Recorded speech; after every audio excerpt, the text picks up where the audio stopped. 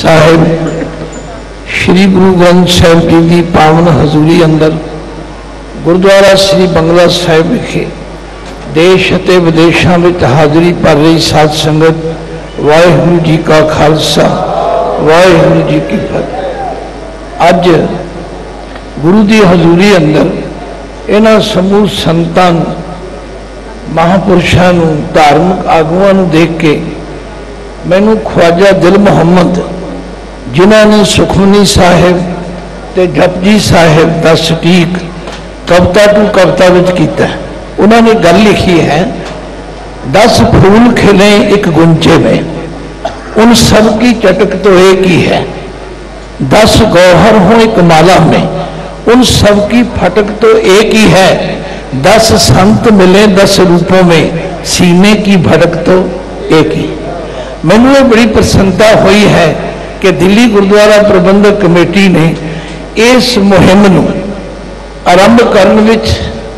گرو کا آسرا تو لیا ہی ہے پر سارے دھرم آگواں کا آسرا بھی لے لیا یہاں جوڑیا ہے دوسری گل گیان گودڑی گردوارا جتھے داس نے بچپن دسو باری کٹھا بار اکٹھا کیسان اتنا سندر شانتی کا سونا س جی ڈاکٹر جسپال سی جی نے کہا بھی گرو نے تو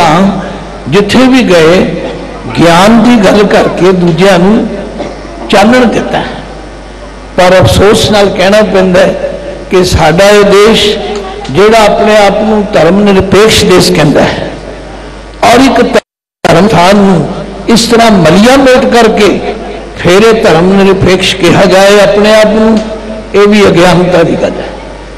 میں پردھان منتری پردھانتری مودی جی کمانگا کہ انہوں نے جلدی تو جلدی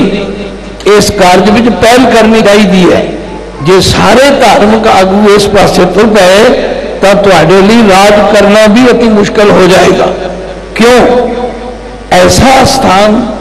جس کی ہون کے نام گرو دا سندیش دنیا میں جا سی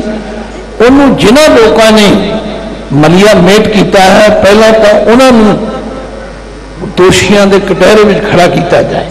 اور پھر اس استھان اس تو بھی سندر جگہ دے کے اس استھاپن کیا جائے یہی سکھی دا گرو نانک پاشا دا سب تو بڑا ستکار ہوئے گا اور تیم نرپیکشتا بھی پتہ لگ جائے گی کہ تھی سچم دھرم نرپیک ہو یا اتوں اتو ٹولہ پایا تو اندروں کچھ کر رہے بس میں نہ آخروں پھر بھی بےنتی کر گروہ دے سیوک ہاں گروہ دے سیوک دے ناتے جس طریقے تسی چلے ہو گروہ پاتشاہ چتر چکر بھرتی چتر چکر بھگتے سوئب سرودا سروج پرناسی دیالن سروپے